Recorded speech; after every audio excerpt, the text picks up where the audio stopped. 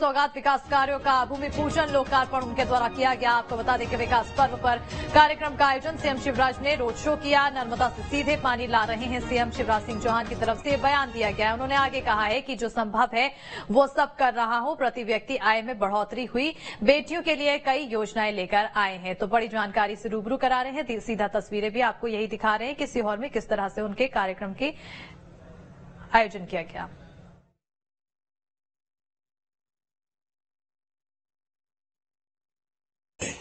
गाँव गाँव सड़कों का जाल बिछाने का काम अपने किया आप बताओ, अगर मैं मुख्यमंत्री नहीं होता तो इतनी सड़कें बन पाती क्या?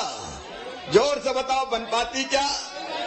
पानी हो, सड़कें हो, बिजली हो, विकास के काम हो, अब ये रोड अपना सीधे गोपालपुर से लेके बुधनी होते हुए बाया, रहटी और बाड़ी तक शानदार फोर लेन बनने वाला है, शानदार फोर लेन।